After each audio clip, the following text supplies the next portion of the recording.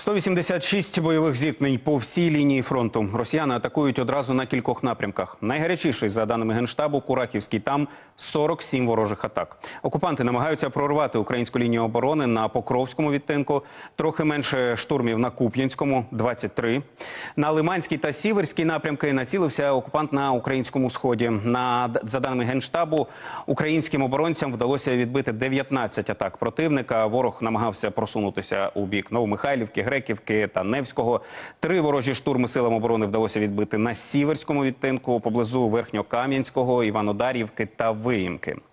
І більше про оперативну ситуацію там розпитаю Володимира Назаренка, начальника розвідки артилерії 4-ї бригади Рубіж Національної гвардії України. Пане Володимире, вітаю вас в ефірі. Добрий день, студія. Добрий день, телеглядачі. Дякую за можливість долучитися до вашого етеру. Е, Пане Володимире, власне, е, для початку давайте поговоримо про збір. Е, Ми допомагаємо бригаді Рубіж зібрати на засоби РЕБ. Розкажіть, будь ласка, про важливість цих засобів, і, зокрема, і для вашого артилерійського підрозділу. Дійсно, дуже велика подяка кожному українцю, який донатить і підтримує сили оборони, зокрема і нашу бригаду, четверту бригаду Національної гвардії Рубіж.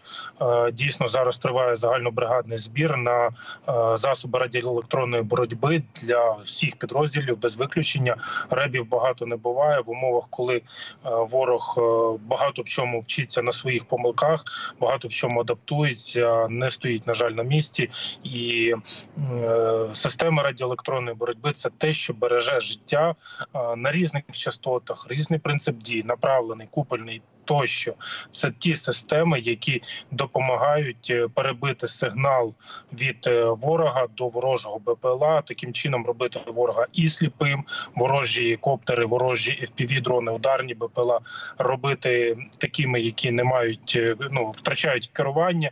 Тощо це е, е, і от власне системи радіоелектронних перешкод дають шанс е, на те, щоб запущений ворожий дрон не досягнув цілі.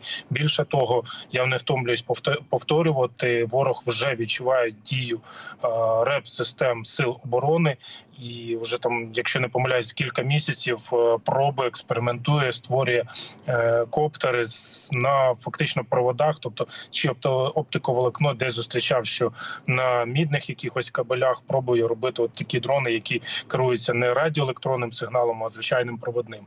Я сподіваюся, успіху у ворога в цьому плані в технологіях не буде, тому важливо зараз все ж таки посилювати здатність підрозділів протидіяти ворожим БПЛА. Е, QR-код для донатів буде весь час е, на нашому екрані протягом нашої розмови. А тепер давайте власне до оперативної ситуації на вашому відтинку фронту. Розкажіть, будь ласка, наскільки зараз там активний ворог, наскільки багато атак відбувається? На жаль, ні на хвилину, ні на годину не вщухають спроби ворога просуватися. Контакт е, цілодобовий, постійний. Ситуація складна. Е, Мої побратими, які в ці дні, в ці хвилини, в- от е, в цей час виконують задачі. Вони роблять все можливе для того, щоб не давати шансу на успіх ворогу. Ворог пробує застосовує все озброєння, починаючи від звичайної стрілкатні там автомату, кулемету е, чи якоїсь важкого озброєння, закінчуючи важкою артилерією, бронетехнікою, авіаційними боєприпасами. Ну і власне е, дронами, коптерами, ударними БПЛА. Все це застосовує ворог, намагаючись просуватися.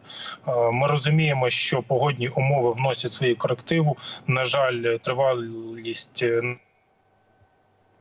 порівнянні з е, літнім, скажімо так, періодом, і в цьому є певна особливість, яка е, накладує на побут, накладує на логістику і на тактику застосування ворогом підрозділів. Тобто, це не тільки піхотні штурми, коли ворог пробує просуватися малими групами, фактично ну там посилає один, два, три, там хто добіжить, хто не добіжить із орків, а й починають застосовувати на тому чи іншій ділянці. Я не хочу з міркувань безпеки називати конкретні населені пункти, конкретні ділянки, але загалом по східній лінії оборони, по сходу, ворог все частіше пробує застосовувати, в тому числі легку і важку броньовану техніку, які фактично обшиті там як ці черепахи. Ми розуміємо, що перші фотографії черепах танків черепах з'явилися більше року назад. Зараз це фактично неодмінний елемент е, всіх броньованих машин у окупантів, які він пробує е, посилати вперед.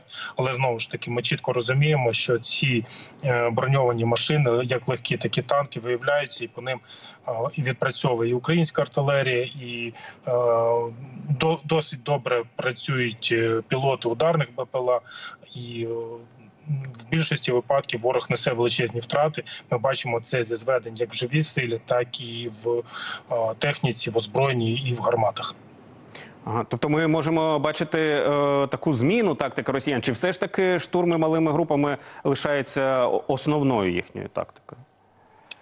Я не можу сказати, що це от кардинальна зміна. Я не можу сказати, що вони відмовилися від дрібних, ну від штурмів дрібними групами, тому що знову ж таки ці змагання орків вони відчувають знову ж таки роботу і артилерії, і мінометів, і fpv дронів. Е, Фактично, один орк бере, біжить, біжить там, має запас радіостанції. Якщо е, в більшості випадків йому не вдається добігти до якогось укриття, е, по ньому відпрацьовують те чи інше озброєння, але все ж таки один там з 10, один з 5 добігає до якоїсь нори, сидить в тій норі там декілька годин, добу, дві доби, поки наступний орк не добіжить. І От таким методом просочення ворог пробував просуватися в більшості в літній кампанії. Е, Ця від цієї тактики повністю ворог не відмовився, тобто далі продовжуються е, піхотні штурми групами, і е, фактично на відстані в декілька десятків метрів відбувається зіткнення і контакт. Але також орк, ор- орки додали саме техніку і більшу кількість живої сили до своїх спроб просуватися. Е, Це все викликано зміною, повторюсь, погодних умов, а також е, все залежить від е, конкретного підрозділу окупаційних військ, які мають задачі, які виконують ті.